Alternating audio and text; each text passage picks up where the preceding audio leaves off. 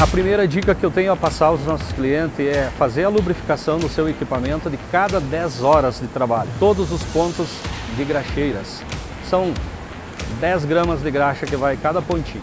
Então, de cada 10 horas, fazer a lubrificação do equipamento no todo. Troca de elemento de filtro de cada 500 horas. Então, a substituição do elemento de filtro em 500 horas ele vai estar preservando a vida útil da bomba do seu equipamento.